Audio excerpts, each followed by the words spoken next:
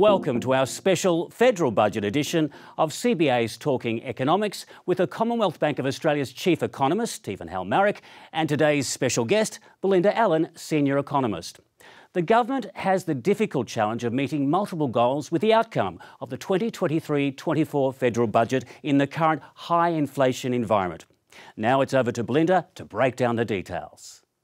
Thanks, Tony. It's great to be here uh, with Stephen to talk about Tuesday night's federal budget.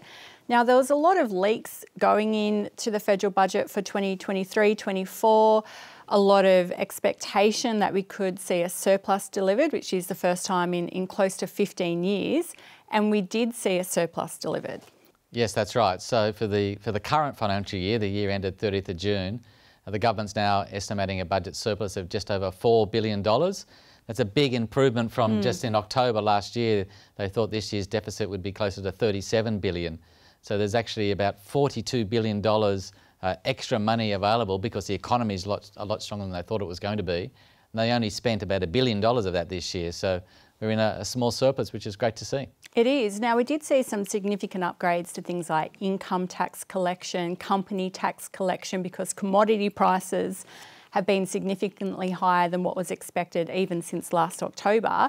The budget does slip back into deficit uh, next financial year, 2023-24, mainly because there are some uh, spending initiatives to take place, uh, but also uh, just as the economy continues to evolve as well. Yes, that's right. So for the coming year, uh, the deficit is estimated now at $13.9 billion.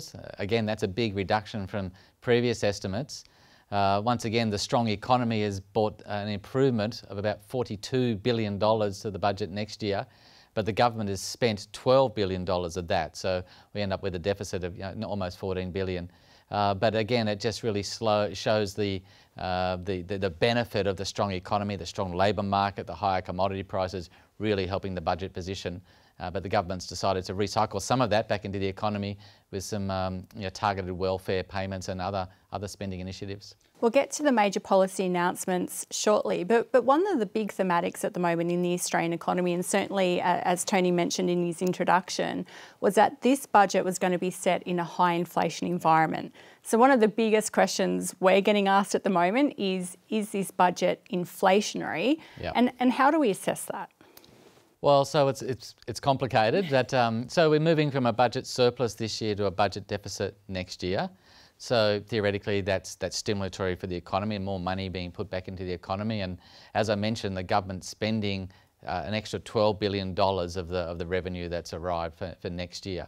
So on face value, that looks inflationary. They're putting more mm. money back into the economy and it's going uh, largely to people that you would think will spend that money, so people on very low incomes that are finding this high inflation environment very difficult. Uh, but the offset to that is the energy policy. So uh, rather strategically, the government's decided that the best way to help with energy bills is to lower the cost of the energy bills. So they're not giving money to people to pay their energy, they're actually lowering the cost of the energy bills. So when the Australian Bureau of Statistics uh, measures the price of energy, it's going to be lower than it was, would have otherwise have been. And the budget says that will lower the inflation rate by 0.75 percentage points this year or the coming year. And so net net, uh, taking all that into consideration, we've actually left our inflation forecast unchanged. Uh, so we've got inflation moderating to around 3.5% by the end of this calendar year and back into the Reserve Bank's target range, which is 2 to 3% around about the middle of 2024. Now, I'm going to ask you what the budget might mean for the RBA shortly. Sure. But one of the other things uh, that we did see in the budget was a lot of spending restraint from the government. That's obviously going to help uh, the budget bottom line, but also yeah. the inflation context as well. You've spoken about the energy relief package. Uh, that was one of the key policy initiatives. But some other ones were around welfare payments, Medicare. What were some of the key policy announcements that, that you focused on? Yeah, so I think that the on the health sector was probably some of the announcements in the budget that were not that leaked. So particularly around bulk billing. Yeah. So the um, the incentives for doctors to really bulk bill, particularly for those on welfare and um, and also those under 16, so children. Uh, so there's a lot of incentive for doctors to bulk bill. So I think that'll be very welcomed. Uh, there's also more money, as you said, for things like job seeker, so the unemployment benefit. That's up by $40 a fortnight, probably not as much as some people would have wanted, but uh, it's good to see that moving. There's more money for um, single parent pension.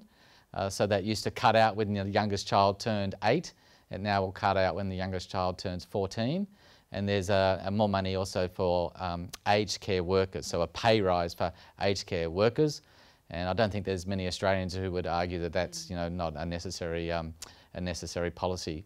Uh, there was also some um, incentives for uh, the housing sector. Yep. So build to rent, social housing. So that's good to see.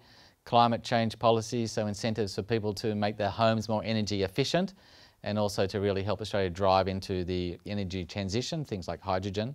So yeah, lots, uh, lots in, in, there. Now, one of the, the other big uh, changes that we saw in the budget was a reduction in budget deficits for the out years. So we've talked about a surplus in 2022 23, a smaller deficit next financial year, so the 2023 24 budget. But even if you look out beyond that, and even over the next 10 years, the size of budget deficits are significantly smaller than what we saw on the October budget last year. And we commented at the time that those deficits were too large. So it is pleasing to see those deficit numbers come down. Yes, that's right. So in October last year, the, you know, the four-year projection for budgets was deficits around 1.8 to 2% of GDP. That's about $50 billion. And in our budget note in October last year, we said, well, we think that's a bit too high, and they should be targeting deficits of between 1 and 1.5% of GDP. So last uh, on Tuesday night, that's what we got. Yep. So uh, out to the year 26, 27, uh, the budget deficits are estimated around 1 to 1.3% of GDP, so 20 to 30 billion dollars. And that's come through a combination of extra money coming through because mm. the economy is going to be stronger to the tune of about 140 billion dollars. number. Uh, but they've spent uh, just over 20 billion dollars of that. So uh, some um, some spending restraint, as you said there. So the combination of stronger economy, bringing revenue in, reducing spending, a little bit of spending restraint, and the the budget deficits now look a lot more manageable over the next four or five years. That's right. And I think some spending, some reforms to the NDIS program has helped that. We're also seeing lower interest costs as well because right. bond yields have come down. Mm. And also, as you said, those changes in economic forecasts. So, one of the big changes we've seen since the October budget is an upgrade in population forecast. So, we have more people in Australia, we have more people working and that's going to improve the budget bottom line as well. And what about any initiatives that will benefit the not for profit sector in particular? Well, I think there was a good focus on education spending as well as the health spending, so providers in that sector I think will benefit. Uh, there's also incentives for small businesses to commercialise ideas, uh, also particularly in the energy transition sector, uh, the incentives for people to make their homes more energy efficient. I think that could you know, support small businesses. There's a little bit of extra money for Indigenous communities, so I think that will help as well. And what we also saw is the government's continued focus to put their NDIS on a more sustainable footing. Yes, that's right. And I think that's going to help those small businesses, the non-profit, non-profit area that provide into that really important sector. Now, final question. Sure. The economy in the context of the budget, we are going to see a slowdown in economic growth this year. That's already coming through, mm. really driven through the consumer and that material lift in interest rates we've seen over the past 12 months. How should the RBA be viewing this in the context of what it means for inflation and the future of interest rates? Yes, so as you say, we, we are expecting the pace of economic growth to slow pretty significantly, as is the budget. Uh, so um, the, you know, the lagged effect of those big increase in interest rates, a slower global economy, uh, commodity prices expected to moderate a bit. So all that adds up to a much slower economy over the next 12 to 18 months than we've seen in the last 12 to 18 months. And we think that means the inflation rate has peaked. Yep. The most recent inflation numbers uh, showed a moderation in inflation in the first quarter of this year.